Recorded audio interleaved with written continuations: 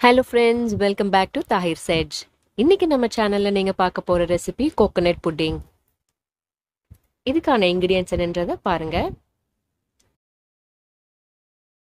வாங்க இப்போ அது எப்படி செய்யறதுன்னு பார்க்கலாம். ஃபஸ்ட்டு நாம் ரெண்டு கிளாஸ் தண்ணியை மிதமான சூடு பண்ணிக்க போகிறோம்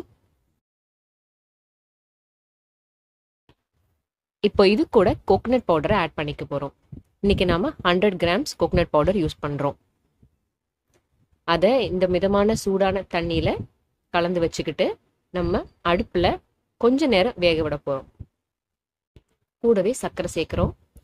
நூறு கிராம் தேங்காய் பவுடருக்கு நூறு கிராம் சர்க்கரை சேர்த்துக்கோங்க. இது கூடவே கண்டென்ஸ்ட் மில்க் தேவையான அளவுக்கு நம்மளோட இனிப்புக்கு தேவையான அளவுக்கு நாம கண்டென்ஸ் மில்க்கை இது கூட ஆட் பண்ணிக்கலாம். இப்போ இதை எடுத்து வச்சுட்டு அடுத்ததான் நம்ம வந்துட்டு அகர் அகர் ரெடி பண்ண போகிறோம் ஸோ அதுக்கு ஒரு அரை கப் தண்ணி எடுத்தால் போதும். அதில் ஒரு அஞ்சு கிராம் அளவுக்கு அகர் அகர் சேர்க்க போகிறோம் பாருங்க நான் இதில் எவ்வளோ சேர்க்குறேன்றதை பார்த்துட்டு நீங்களும் அதே அளவுக்கு ஆட் பண்ணுங்க. ஸோ இது நல்லா டிசால்வ் ஆகட்டும். நல்லா கண்ணாடி பதம் வந்ததுக்கு அப்புறமா நாம் இதை இறக்கி வச்சிடலாம்.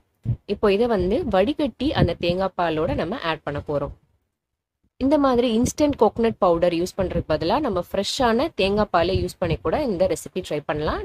அவ்வளோதாங்க இதை நம்ம ஒரு பவுலில் ஊற்றி அதை ஆற வச்சிடலாம். ஆறுனதுக்கு அப்புறமா அது கெட்டியாக ஆரம்பிச்சிடும். இது கெட்டியானதுக்கு அப்புறமா இதுக்கு மேலே நட்ஸ் போட்டு நம்ம கார்னிஷ் பண்ணிக்கலாம்.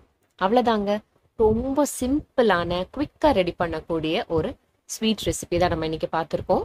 கொக்கோனட் புட்டிங் உங்களுக்கு இந்த ரெசிபி கண்டிப்பாக பிடிச்சிருக்கும்னு நினைக்கிறேன். பிடிச்சிருந்தா லைக் பண்ணுங்க. இந்த வீடியோ உங்க ஃப்ரெண்ட்ஸ் கூட ஷேர் பண்ணிக்கோங்க. உங்களோட எக்ஸ்பீரியன்ஸ் எங்க கூட கமெண்ட்ஸ்ல சொல்லுங்க. சேனல் பிடிச்சிருந்தா கண்டிப்பா சப்ஸ்கிரைப் பண்ணிடுங்க. மீண்டும் ஒரு நல்ல வீடியோ உங்களை சந்திக்கிறேன். அது வரைக்கும் டேக் கேர் பாய்